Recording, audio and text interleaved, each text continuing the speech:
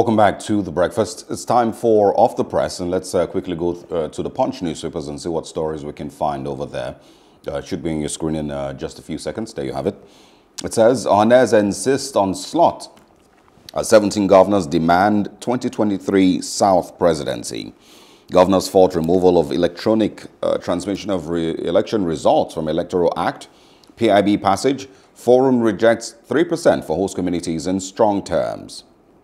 Also on the punch, oil hit $77 uh, daily. Petrol subsidy rises to 6.07 billion naira. PFN and CAN tackle federal government as bandits abduct 140 students in fresh Kaduna raid. Opposition mounts as National Assembly transmits PIB to Buhari next week. Still on the punch this morning, Nigeria spends 60 billion naira annually to repair vandalized pipelines. And um, we can also see here, uh, my party members are Nigerians battling hunger, unemployment and poverty, says former President Olusegun Obasanjo. Says it's done with partisan politics once again. Still on the punch this morning, FIRS secretly recruited 2,000 workers, agency under financial pressure, says uh, the NCSU. And Minister slumps at Bauchi event, lands in trauma center. Lagos Maritime Union members in three-day gun battle over money. Wow. And police and hunters comb bushes as gunmen kidnap Osun um, and uh, Edo travelers. And of course, you can also see a picture from the Southern Governors uh, meeting yesterday on the Punch. Let's turn now to the Guardian newspaper. Pretty heavy stories here. The headline reads, Southern governors want power shift, reject 30% share for frontier basins. The riders reads, order member states to promulgate anti-open grazing law by September 1st. Security agencies must inform governors before any operation in states. Ohanaeze Ndigbo demands presidency for Southeast. Afenifere DAWN Commission, others hail resolutions. Also in the Guardian newspaper, stop pursuing Igboho, apologize to him, Soyinka tells federal government.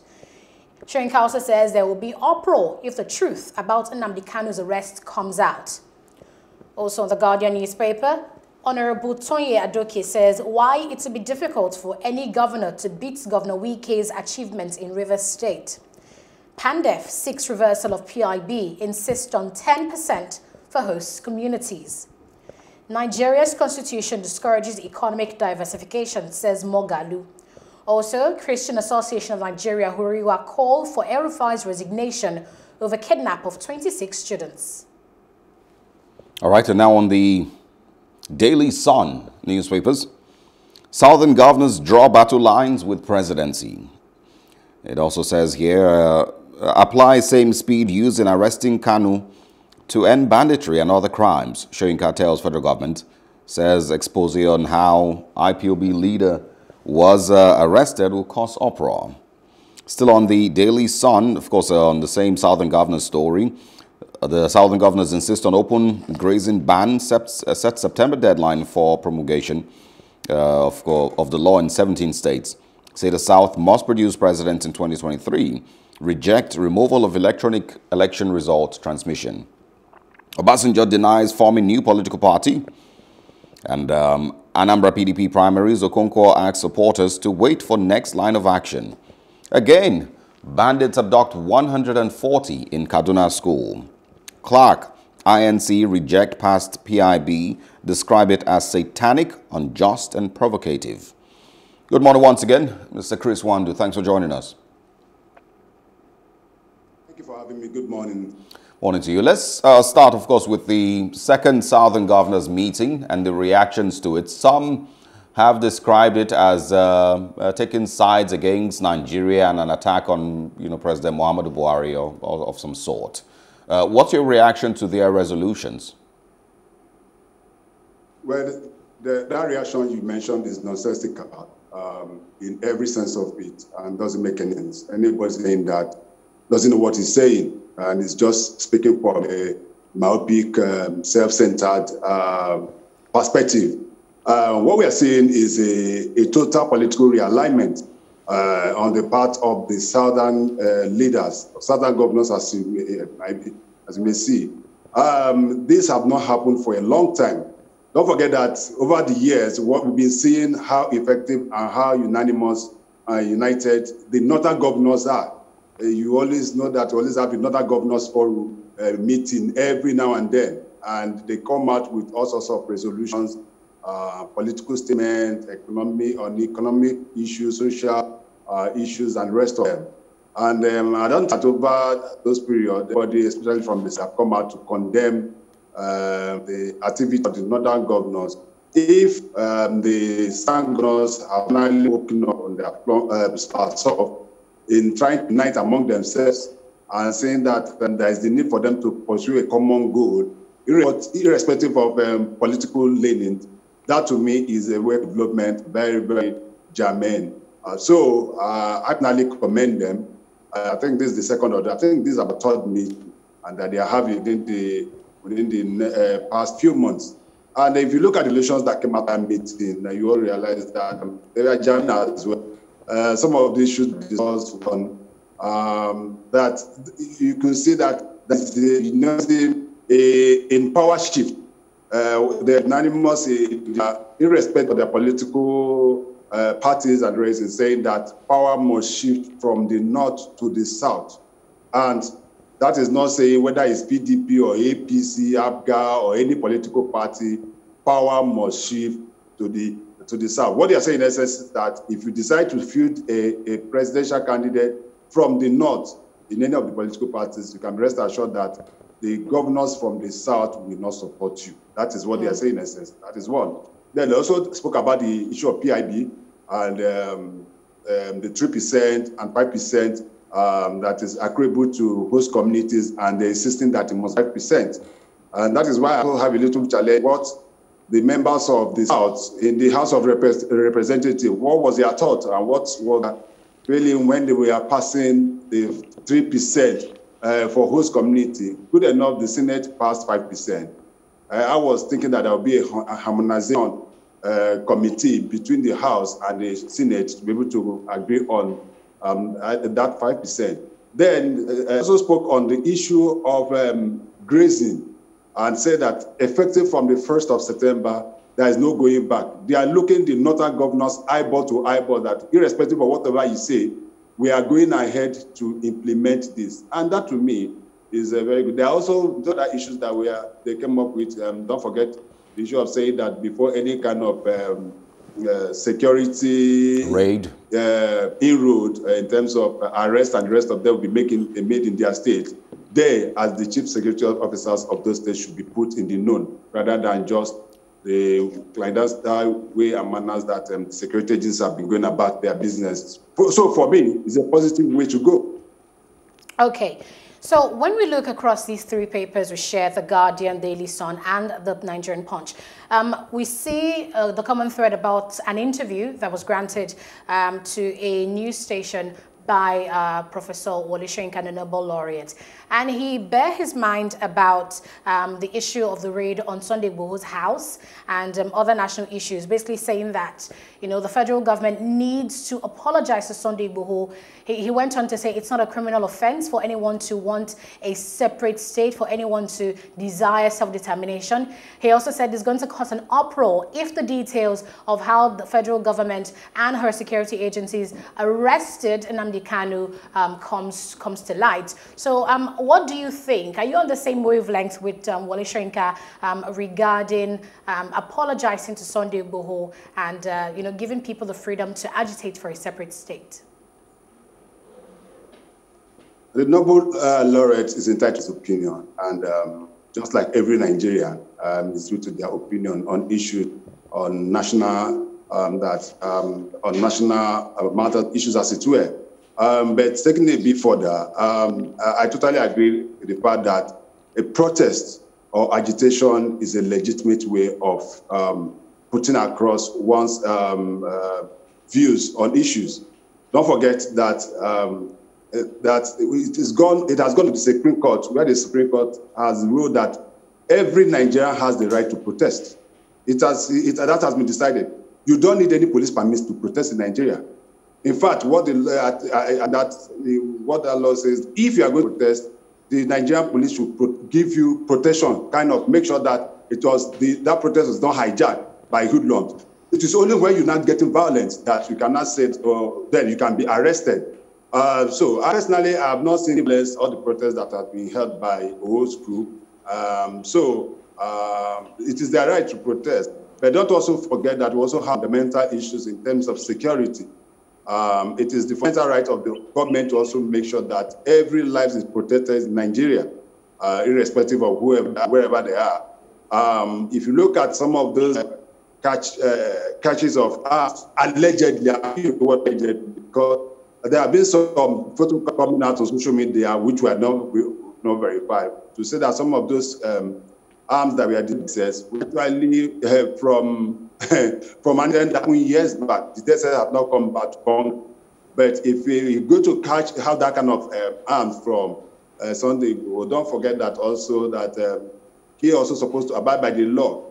Did they acquire those arms legally? Because before you can have an arm in Nigeria, you need a permission from the Nigerian police. So if he didn't get those arms legally, then he has questions to answer. There are also some instances where uh, Sunday Igboho have been invited security agents, especially I think the police or thereabout, and invited about once or twice, and he refused to um, um, attend to that um, uh, invitation. That to me is also part of lawlessness. But generally, um, I do. I, I, support the North to a large okay. extent. That so, Mr. Every Nigerian has the right to protest. Okay. Uh, agitation is also part of um, engagement. On the, on the Daily Sun, that same story, um, Soyinka told the federal government that it should apply the same speed that they used to arrest Nnamdi Kanu to end banditry and other crimes. And how do you tie that to this breaking news that bandits has again abducted 140 students in Kaduna State? Um, parents are angry. They're demanding a state of emergency. That's on the Daily Sun. So Soyinka is saying that while these crimes fester, um, the federal government is instead focusing on, on you know, persons of interest. So how do you come in? Yes, we'll be saying that time and time again. Uh, don't forget the fact that over the years, over the months, been high level of banditry, kidnapping, especially in the north. And um, the, at the last count, we have over 400, close to 500 children, uh, students that are um, in, in, in uh, captivity in the in bush now. And I've been saying that um, there is need for the, um, the security agencies to also apply that level of swiftness in asking some of the people that have been fingered uh, engaging in banditry. But what are we having? Instead of um, doing that, they are engaging them. And some of the leaders from the north are even saying that um, um, they are not um, they are not criminals. They are just bandits that need to be uh, dis, um, dis, uh, discussed, um, going to discussion with, and the rest of them. There's even a, tra- a trending video some uh, some days back where one of the bandits was even boasting before. I think he was deputy governor, one of the top hierarchy of the, uh, from the uh, government of that he killed several soldiers, and he was laughing over it. I'm sure you must have seen that video. Yes. so that in itself um, it tried to give some kind of imbalance uh, where some people see themselves as sacred cows is when they are some, from some part of the country and the rest of them. Even a, a high, a highly placed um, uh, person like the governor of Kaduna State, um, El-Rufai, you remember made a few days ago where he was comparing IPOB and bandits and kidnappers and um, uh, and Boko Haram. Some of these statements are they have been a gumi. gumi uh, we were told um, by the DSS that he was invited for questioning, and the man came out to say, "No, I was not invited." And that was a statement from the DSS, from the spokesperson of DSS. And since then, the DSS did not come back to, to reaffirm the fact that he was invited. So if you look at all the body language and the rest of them, this goes to show that, but that's why some people feel that what we're having now is a systemic backing of the kind of um, insecurity going on in the in the north, where that of the agitations in the south is, uh, is being crushed. Now look at it from the we have, although we don't know how authentic it is that some parts of Borno have been taken over by ISWAP, who is now going to asking people to pay taxes and the rest of them. That is a big challenge for us. So I think that we should be holistic and see government should see itself as the government of Nigeria, not government of any particular part of the country, where the issue of insecurity, agitation, and all sorts of malice that um, is going on has to be handled in a more prosperous manner to make sure that nobody feels like a second-class citizen in the country uh, we call Nigeria. All right, let's also go back to the um, uh, resolutions, but now from a, a, reaction rather to the PIB, um, the bill. uh, Edwin Clark, you know, has also made his own uh, statement saying that he they totally reject 3% or 5% to uh, um, host communities and 30% um, to frontier states. He described it as uh, satanic and provocative. Um, what would you what would you say is your uh, or your thoughts concerning the 30% to frontier states? Um, they have been been clearly stated which states are the frontier states, um, but what do you think the government is trying to achieve here? The frontier states, basically, frontier basin states are normal. They are um, the states. There are certain states in the north. Um, if you go deeper, you see the states. Um, I think there are about seven or thereabout. Um, that to me uh, is good that, don't forget, the, as I said earlier, the southern governors have asked that and they reject that totally. Uh, so uh, what uh, Chief Edwin Clark is not saying anything different from what the governors uh, of the southern, uh, southern Nigeria have said. Um, so um, to me, whether 5%, 3%, 1%, or 10%, as it were, for host community is not much of a concern to me uh, because what uh, the problem is that the ones that we have already given uh, uh that has been um, given, what were they for? You have don't forget that um, uh, there's there have always been the derivation funds that's accruable to um, this um, some of these communities. Don't forget that the government also set up a ministry uh, for for the Niger Delta. Don't also also forget that we have a a, a, a parastatal that um, that was also set up for this uh, for the, the, Niger Delta.